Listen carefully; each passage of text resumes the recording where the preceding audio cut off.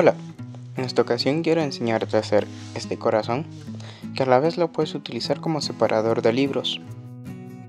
Si te gustó la idea, vamos a ver cómo se hace.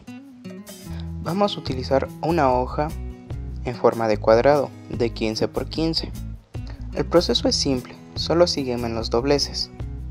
Y si necesitas, pausa el video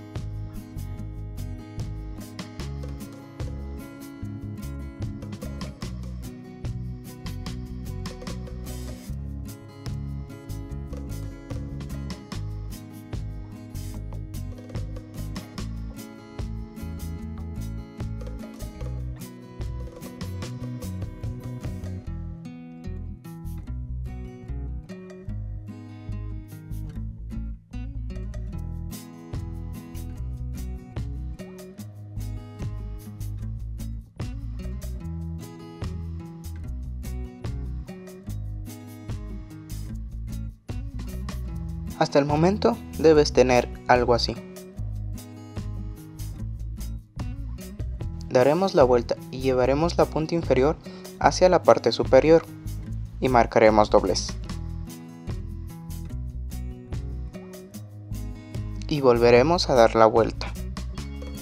Tendremos unas solapas en la parte inferior, abriremos entre ellas y marcaremos doblez.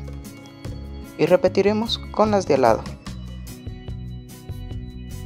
te debe quedar algo así.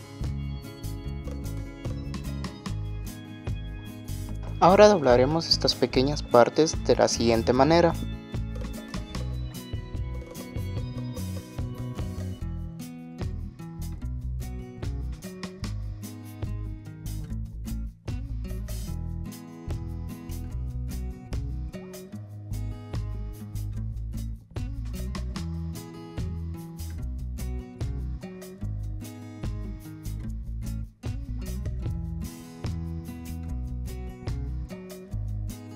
Por último daremos la vuelta y doblaremos los extremos sobrantes hacia atrás.